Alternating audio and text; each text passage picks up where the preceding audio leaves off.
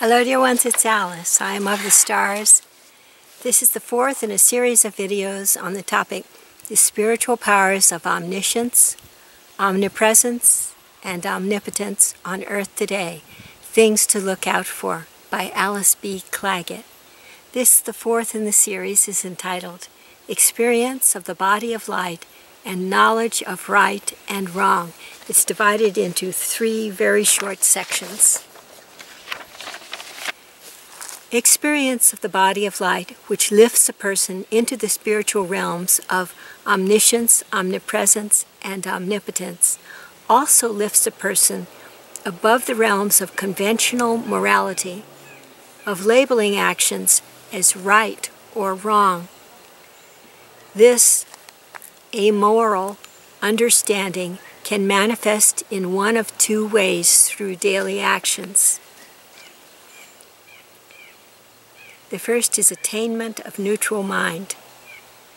Through the body of light of the spiritual teacher and his students, it may manifest as neutral mind, a quality advocated by and polished through Zen practice as well as practices such as that of the Volyalar. The second is acts of depravity. Depravity is a state of very great soul wounding, I, I feel. There are other definitions for it, but that is mine. Through the dark body of the spiritual teacher and his students, it may manifest as what the school of theosophy terms acts of depravity in defiance of the social order.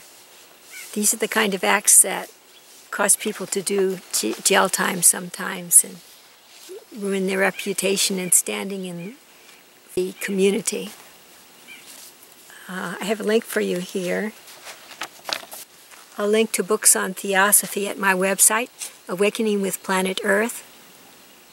The URL is https colon slash slash awakeningwithplanetearth.com.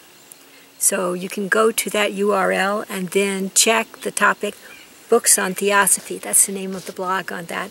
And that will point you in the right direction for further learning about the School of Theosophy. All right, so that's all for this short section uh, on experience of the body of light and knowledge of right and wrong, and the way that rising above knowledge of right and wrong can can give both light and dark consequences. It can cause attainment of neutral mind or can cause acts of depravity in the world through um, failure to discriminate between the, the common good, the social good, and one's own uh, soul wounding. God bless you all and keep you safe and be with you through all your days.